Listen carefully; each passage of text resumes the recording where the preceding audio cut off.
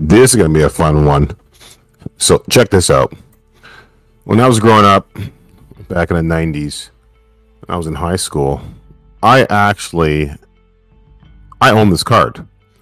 Okay. Yes, you can get it way cheaper. Do you want research, guys? That's what the internet's for. But uh, you know, it's so funny. I just heard this story from Joe Rogan talking about uh, Putin and what he did to uh, NFL gent. I'm just laughing here. but my story is this. I'm in the hallway showing, you know, you're a teenager, you try to be cool. Showing it, showing off my Michael Jordan rookie card. Yes, Michael Jordan, everyone, if you didn't know, tried baseball out with the White Sox one year and did miserable and went back to basketball. God bless his soul. All right. So uh, at least he tried. So don't judge him there.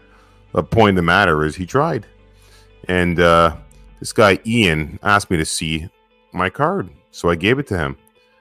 And uh, does he not just? I asked him back for it, and he just walks away. And I kept on yelling at him. And the way I got it back was I had to fight him for it, and I, then I got suspended. You gotta love the school public system justice. Absolutely makes no logical sense. But yes, obviously we shouldn't be fighting. But I told five teachers I stole it anyways, and, and they still did nothing about it.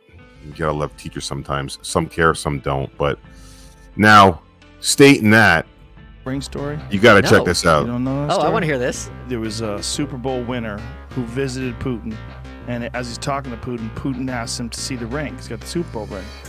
Amazing. And uh, Putin holds on to it, puts it on his finger, walks away.